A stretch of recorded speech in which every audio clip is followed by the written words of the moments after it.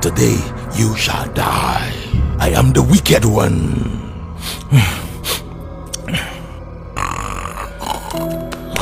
I am talking to you.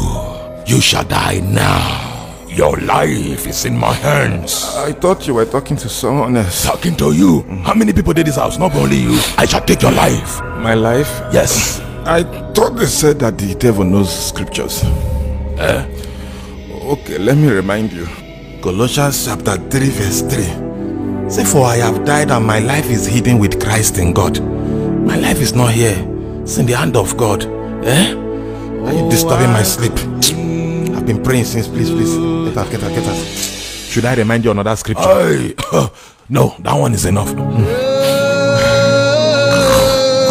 we have the music concepts. This one is on fire. I can't touch.